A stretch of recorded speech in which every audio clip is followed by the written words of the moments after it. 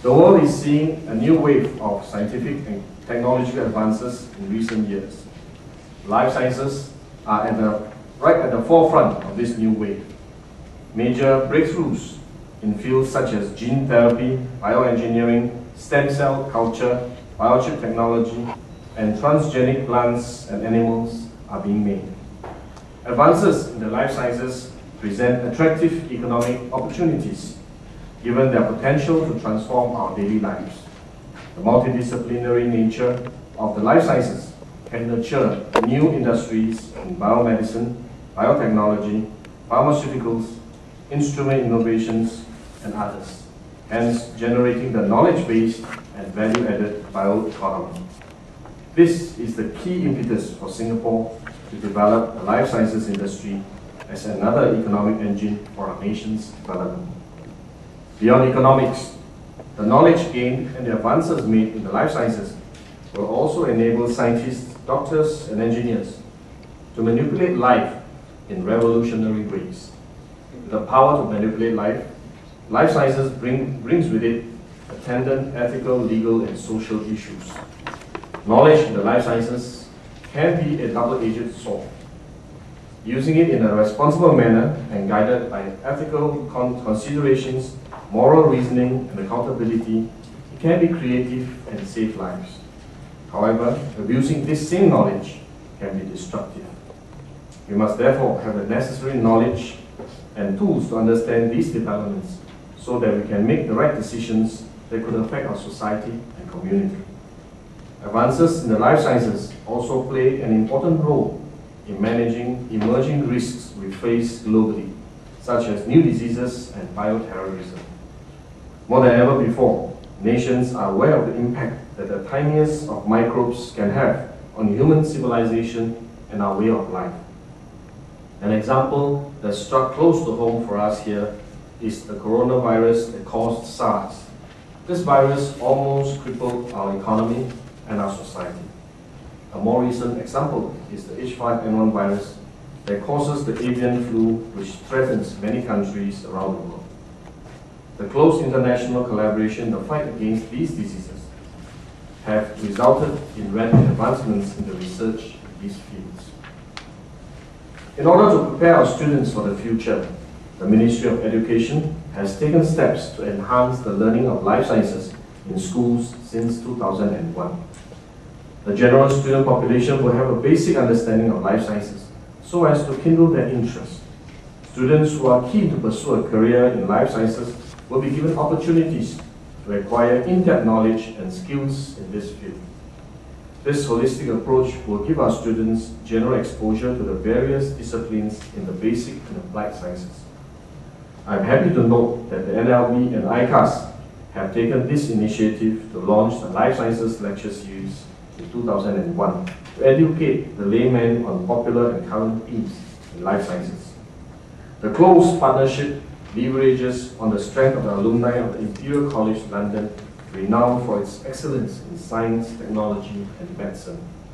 It also rides on the mission of the NLB to expand the learning capacity of the nation so as to enhance national competitiveness.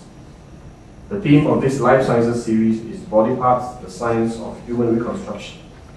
I understand that four public lectures and one workshop have already been conducted by eminent scientists and practitioners here.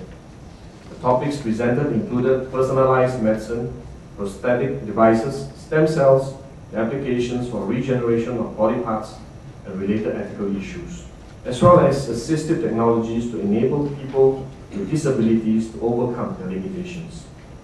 This evening's panel discussion is on an interesting topic, the making of the six million dollar man. Many of us of my age cohort will remember watching this well-known popular television series. If you have not watched it, you are too young. the show's premise is intriguing, especially in the light of recent advances made in the life sciences. Do we really have the capability to build a bionic man? I'm sure the audience can look forward to an interesting and enlightening session with the panelists.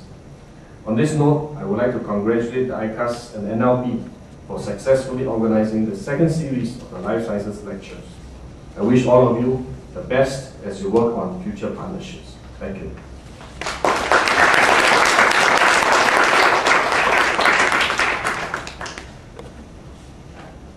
Uh, thank you, Mr. Gan. Uh, on behalf of uh, ICAS and LP, may I invite Ms. Yen to present you a token of appreciation.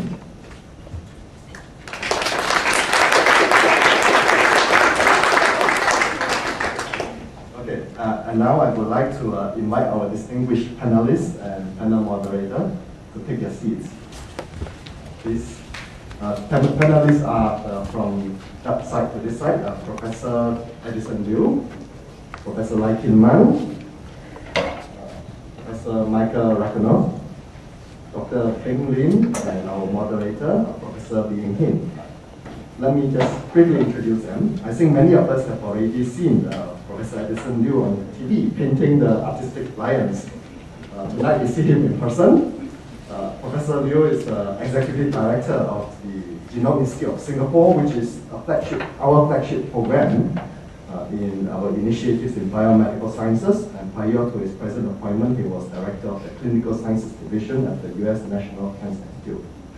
Uh, Professor Lye, our sec- second panelist tonight, is Deputy Executive Director of the Institute for Infocomm Research, which spearheads Singapore's R&D effort in information and communication technologies.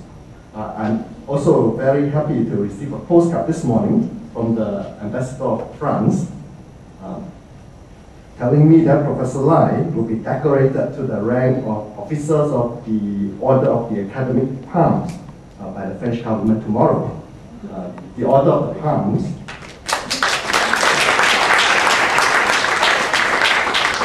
Order of the Palms was uh, established by Napoleon in 1807 and is presented to people who has uh, rendered services that is very significant to education or to the enrichment of cultural inheritance of France.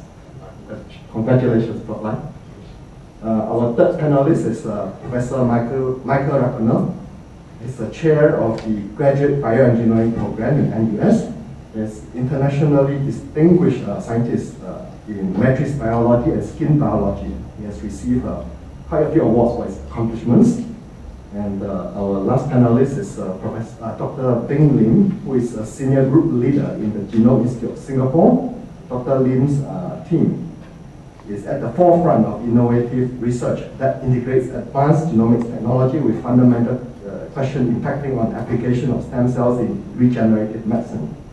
And uh, our panel moderator, Professor Lee Eng Hin, is head of pediatric orthopedics at NUS and the leader of the NUS tissue engineering program. He's a pioneer in the use of mesenchymal uh, stem cells, and he has uh, won quite a few international prizes for his contribution to tissue engineering. Um, now, the logistic part. To make our panel a bit more interactive, instead of having all of them speaking and then you ask questions at the end, we divided the panel into two parts. So part one, the Professor Liu and Professor Lye would uh, present their vision on the six billion dollar man, state their, uh, you know, uh, make a statement on the possibilities, challenges, and so on. Then we'll open for free-form discussion. Then hopefully at about eight o'clock, we will start part two, uh, where the Professor Raghunath and Dr. Lim will present their perspective. And then we have another discussion, and finally the panel will be closed with summarizing statement uh, from Professor Lee. Uh, so let, let's now begin the, the first part. Uh,